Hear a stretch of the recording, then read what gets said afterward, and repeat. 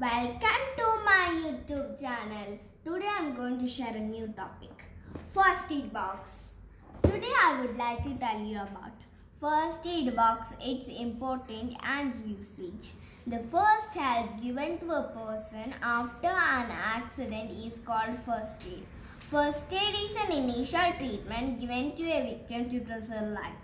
Without initial medical treatment, a milestone into a serious one.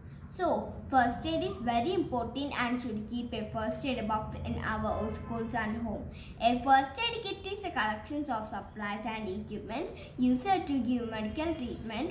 Preparing and maintaining a first aid box is a great way of learning about safety. Now let's see what's inside the first aid box. This is thermometer. It helps to check temperature. This is cotton. It helps to clean. This is scissor. It helps to cut. This is bandage. It helps to cover the wound. This is Dettol. It is used for cleaning the wound. This is surgical tap. It helps to dress. This is Burnol. It is used for healing the wound.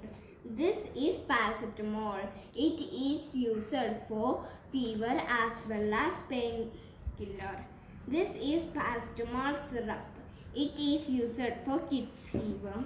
This is Volini. It is used for muscular pain relief spray. It, this is the important uh, number. Thank you.